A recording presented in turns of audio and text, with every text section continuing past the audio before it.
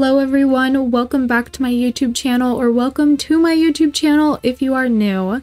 Today I'm going to be showing you guys a preset that was made around just two months ago and it is a winter preset. Obviously by the name, it's called the Cold Reshade preset for Star Stable and it's made by Stellarrya and you can find her on her YouTube channel. I have both her YouTube channel and the video that I got this preset from in my description and yeah, today we are going to be checking that out and I did ask her for permission to use her preset in a YouTube video. I did tell her that I was going to be linking everything. So if you're seeing this video, Stella, hello, and I hope you appreciate this video. Now, this reshade preset is wonderful if you want to play your Star Stable game with a cold, wintry look without having to use Star Stable's winter Christmas event snow because that doesn't come all year round. Now, Reshade is a downloaded add-on to Star Stable where you can add filters or presets in this case to your game in order to download it, there's multiple tutorials on YouTube. It took me quite a bit to download it, but I was able to get it downloaded. And you should be able to access this screen when you press the home button on your keyboard. And if you go back, now if you want to change the toggle on which key you use to turn the effect on and off, you can just go to your settings and change it here. I have mine set as Q. So when we go out and have Della's preset loaded, it should look like this. It is very cloudy and as you can see, the UI does tend to kind of like blur out a bit. And you know, if you wanted to change that, you would have to get rid of the fog. And there's an easier way by doing it by just going to your settings and clicking the anti-aliasing button on here.